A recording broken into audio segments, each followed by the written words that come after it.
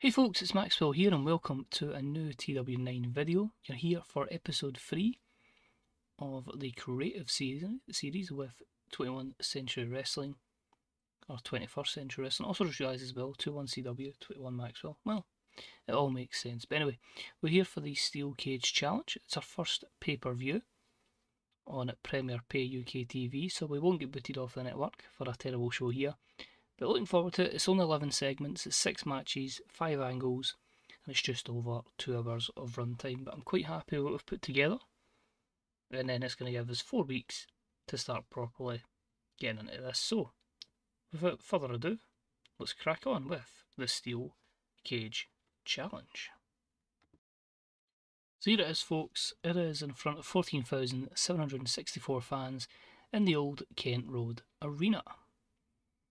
We start off, we're greeted by our lead play by play announcer, Steve Smith, who says, Hello everyone and welcome to 21st Century Wrestling Steel Cage Challenge, where tonight many of our matches will be contested within a solid steel cage. Not all of them, but most. We have many championships on the line, a mega six man main event with an unknown third man for Team Tommy Cornell, and we also have Wade Orson defending the 21st Century Wrestling World Championship against Lee Burton in his first title defence. So some big matches there. Of course, it'll be Cornell, Matravers, and an unknown partner against the faction, the House of Business, led by Edward Cornell. So really intrigued to see how this goes down with the third member. Crowded at the end was Simmering, a segment rating of 75, and our future is now storyline advances but lost heat. Our opening contest was a decent matchup, and it saw the Demolishers from the Kingsmen defeat absolutely flawless in 10-18 when Langton Herring pinned Lance Martin with a double choke slam. It gave the Demolishers their fourth defence of the 21st Century Tag Team Championships. Wrestling rating was a 61, uh, crowd rating was also a 61, and the segment itself got a 58. You can see there in terms of in-ring performance. The weak link there probably was Compton Valance, but it is fairly level. Uh, the tag division storyline advanced and it also gained heat. But yeah, it gives a, a good start to the King's Men as the Demolishers pick up the W. Next up, we had a, another tag team match, and this one saw Crouching Storm Hidden Sifu take on the Men of Steel. And it was a decent match up here that saw Crouching Storm Hidden Sifu pick up the win in 1140 when Ricky Storm pinned Mark Adonis with a double back fist. Mass Hulk was the weak link, struggling to keep up with everyone else's performance. That's good to note that Sifu and Storm will put in good performances. Mark Adonis will put in good performances, and Mass Hulk will maybe need to look at his stats and see where we can position him within that particular faction. The wrestling rating was a 66, the crowd rating was a 63, the segment itself a 67, and Unarmed and Dangerous has advanced. So we've got a bit of depth in the tag division, which is always good. We can mix things up. So the open challenge for War Machine was accepted by Joe Simpson, and it was a decent match here that saw War Machine defeat Joe Simpson in 8-17 when he escaped the cage. I made this the storytelling match of the night because it was basically protecting War Machine, but at the same time it was like big dominant guy against a guy up and coming like Joe Simpson, uh, and it just resulted in a bit of a domination.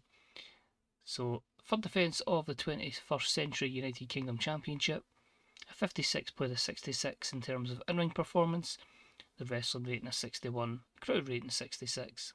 The segment was just a 54. So it's getting used to because the actual ability of the wrestler is on a different page from the popularity. It's like having to look back and compare, like he's really over, but maybe not the best in ring, and then you try to find what meshes well going forward. But because uh, there's a lot that's maybe not technically great that we might need to work on. But of course, the company is more based towards popularity, just. Uh, after it, we see War Machine and the rest of the King's Men backstage, and he decides to pick up the mic. Quick promo from him, a few words from him, complimenting Valance and Herring as well. He says, What a night it's been for the King's Men. Three men, two championship matches, two wins, all titles defended successfully. Get used to it. This is what we do. We destroy and we win. 21st Century Wrestling, line them up, boys, because we will knock them all down. So 60 segment for the promo. War Machine just showing their dominance with obviously all those championships. And yeah, can I get something different from Simmering? We'll find out as the show progresses. We had the big brawl, which we didn't put in the cage because I do want to try and maybe extend this here a bit longer. But it was about that had some good heat and decent wrestling as Rolly Muckle Truck defeated Bedlam in 9.56 by submission with full nelson. 71 and a 73 is pretty decent. The Bedlam storyline continues.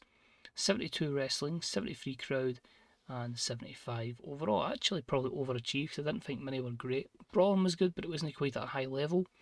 So, yeah, fairly delighted with that. Uh, after it, Rolly picks up the win and he celebrates halfway up the ramp, but Bedlam is going mental. Is it just a case of he's furious? Is it just a case of he's lost the, the match by submission? He had to tap out or he was going to pass out.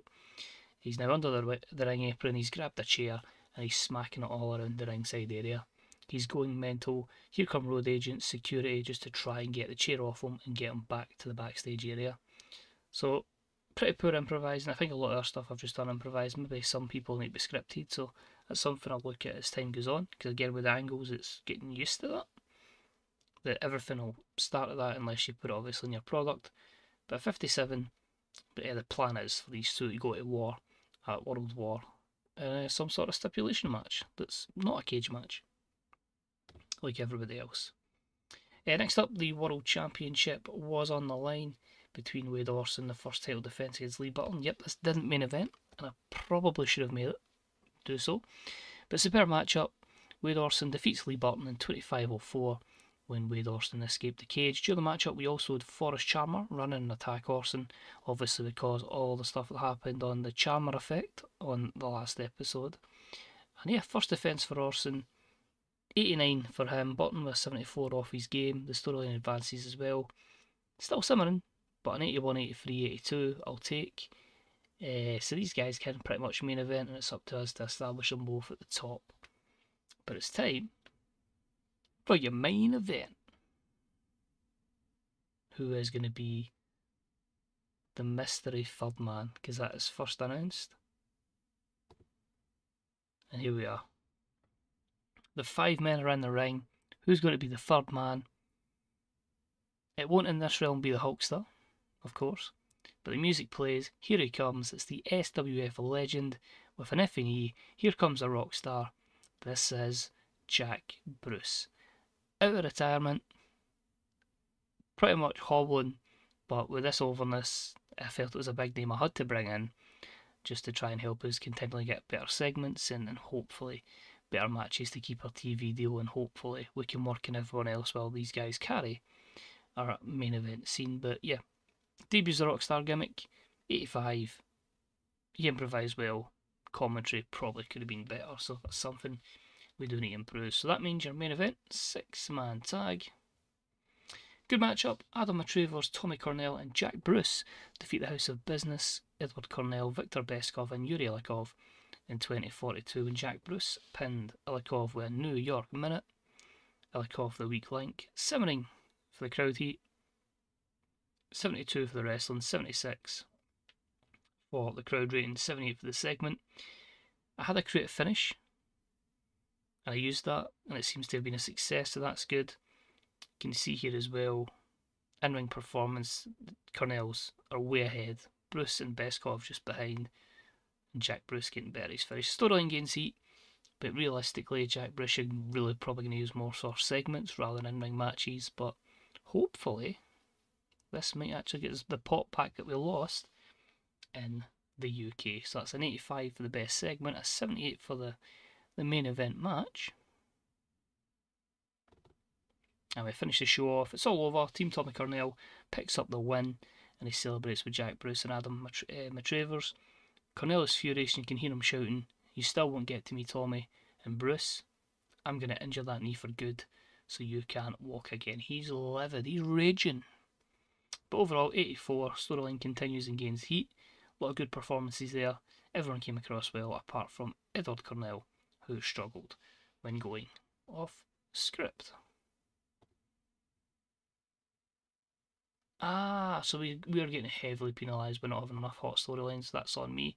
So I think actually that would have been probably right up there. But that's heavily penalised as down to a 70.